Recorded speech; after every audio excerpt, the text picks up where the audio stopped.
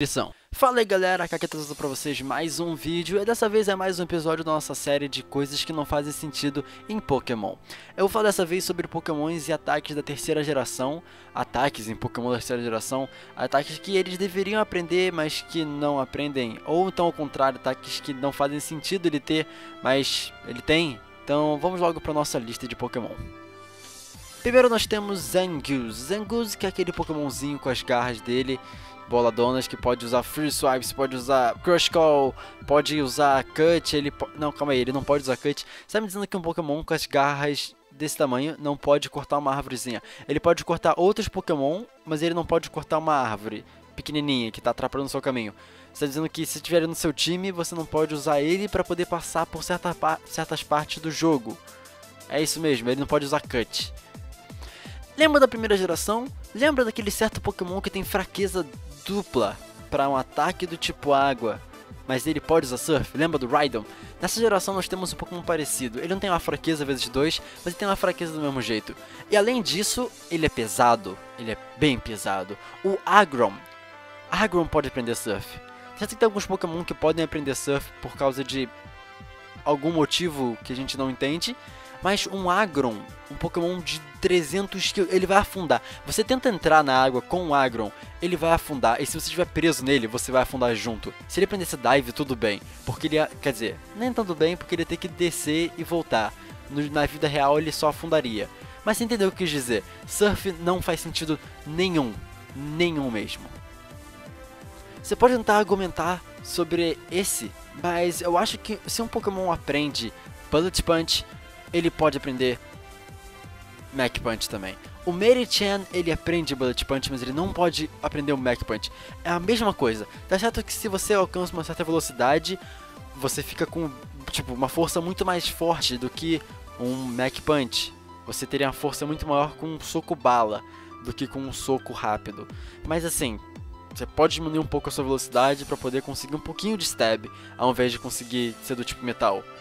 Então, por favor, por que não? Me explica. Medichan, ele não pode aprender Mac Punch, mas pode aprender Bullet Punch. É a mesma coisa do Machamp. Nesse episódio estamos realmente falando muito sobre memórias passadas e pokémons de outras gerações. Mas você lembra de um certo pokémon que aprende ataque tipo fogo, mas do que é do tipo água? Não, não é o Slowbro, é o Hemorrhage. O Hemorrhage aprende Fire Blast. E se você chega na terceira geração, você chega a um certo Pokémon que é um dragão. Um Pokémon dragão que não pode aprender nenhum ataque do tipo fogo. Ele não pode aprender o Fire Blast. O Latias e a Latias. Não, não sei como, mas um peixe pistola pode aprender uma explosão de fogo, mas um dragão lendário, mítico, não pode usar um ataque de fogo. Vocês já chegaram a ver o Nuzleaf no anime? Vocês já chegaram a ver o Nuzleaf no mangá? Você já percebeu que ele, na Pokédex dele do jogo, diz que ele adora cantar, tocar a folha na sua cabeça, usar a folha na cabeça dele como um instrumento musical?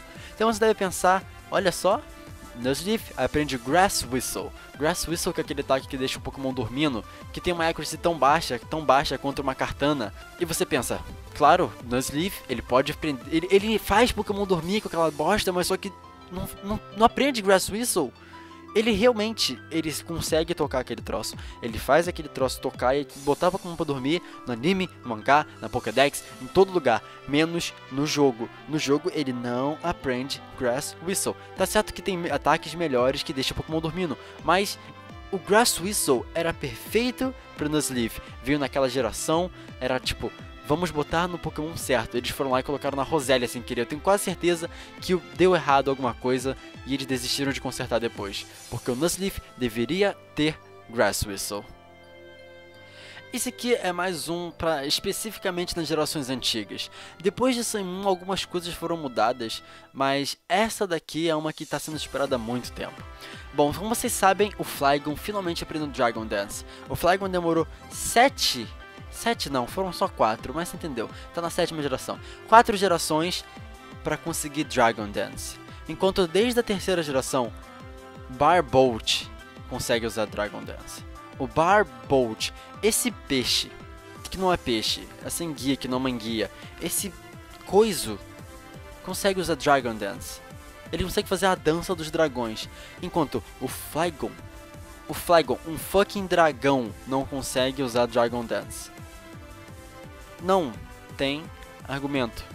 No último episódio nós falamos sobre ataques inúteis. E dessa vez não pode faltar um, um ataque inútil também num certo Pokémon que não faz o menor sentido. Vamos pensar assim no Pokémon que não possa usar um ataque porque não faz sentido ele aprender, mas ele aprende. Pense no Shedinja usando Substitute. Shedinja, ele tem 1 de HP. Substitute você precisa perder 25% do seu HP para poder você conseguir fazer um Substitute.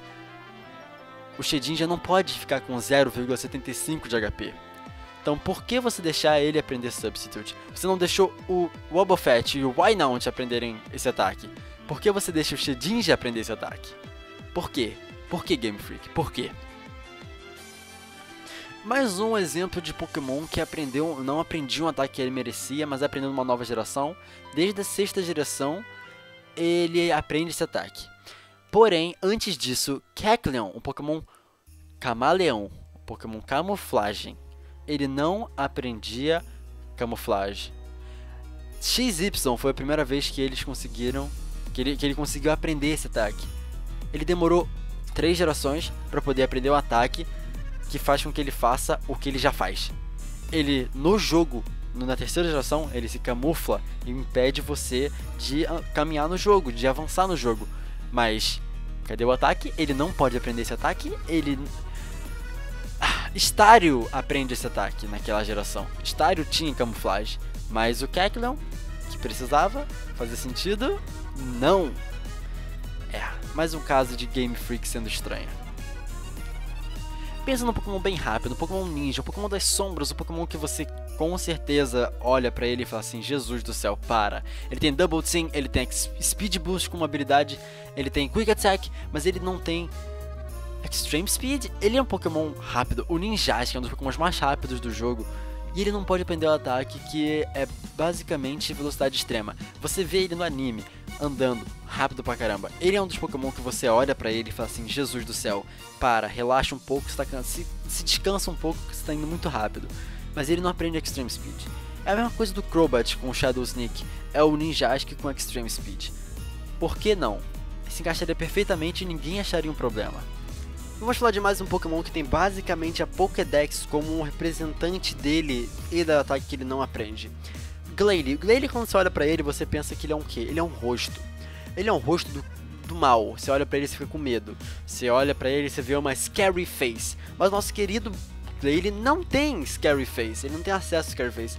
E além do scary face, que é um dos ataques que ele devia ter, ele também não tem main look olha pro olho dele e olha se ele não é um cara que olha para você e você fica tipo, meu Deus, ok, ok, eu não vou nem me mexer com ele, mas ele não aprende Scary Face nem Mindle, que seriam perfeitos para ele.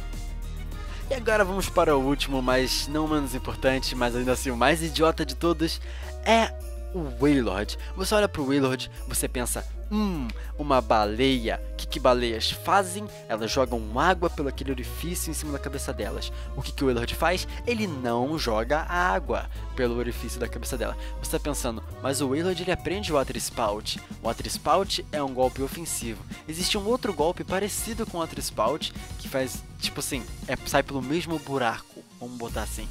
O Wailord e o Kyogre também se encaixam nesse, nessa descrição, não aprendem Water Sport. Você está pensando, Kaká, por que, que você se importa com Water Sport? Eu não me importo com Water Sport, eu me importo com sentido. E o Wailord e o Kyogre não aprenderem um ataque que é perfeito para uma baleia, não faz sentido.